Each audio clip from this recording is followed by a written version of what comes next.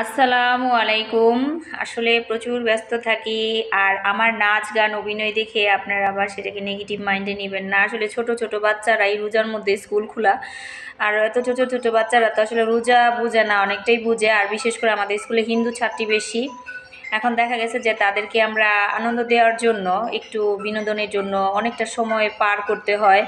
আর student এত কম আসে, মুসলমান যেই ছাত্রছাত্রীগুলো, তারা খুব কম আসে, বক্তব্যে চলে যায়, রোজা রাখে।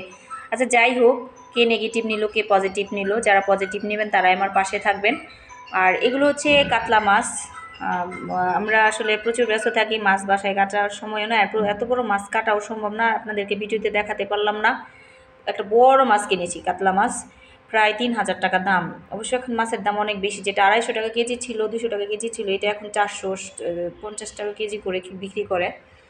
তো এই যে এটা হচ্ছে টাকা মাছ, এই মাছটা আমার খুব প্রিয় মাছ। আমার বাবা আছে না, অনেক বছর আগে যখন আমরা ছোট ছিলাম ক্লাস ফাইভ থেকে ফোরে পড়ি, আমার বাবা একটু রাতে বাজার করতে, আমার মতোই স্বভাব ছিল।